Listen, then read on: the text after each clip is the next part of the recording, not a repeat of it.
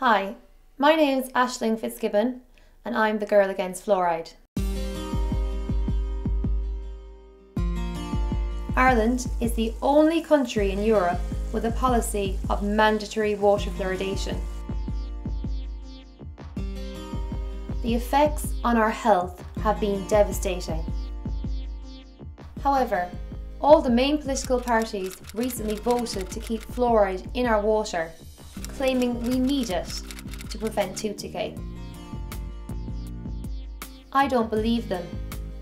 Neither do many scientists, and 98% of Europe has rejected or banned adding fluoride to water. The shocking fact is that the countries that don't add fluoride to their water have less tooth decay than the countries that do.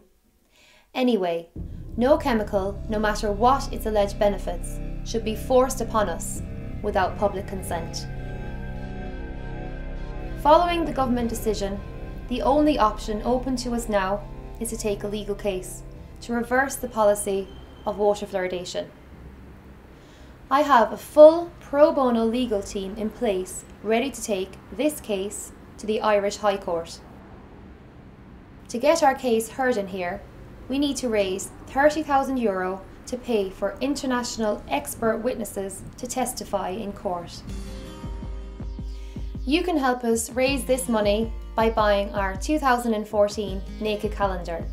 Alternatively, make a small donation. Every single euro helps. I know we're taking on political giants, but I also know how important this case is to all our health. We must say no to mass medication. It's wrong.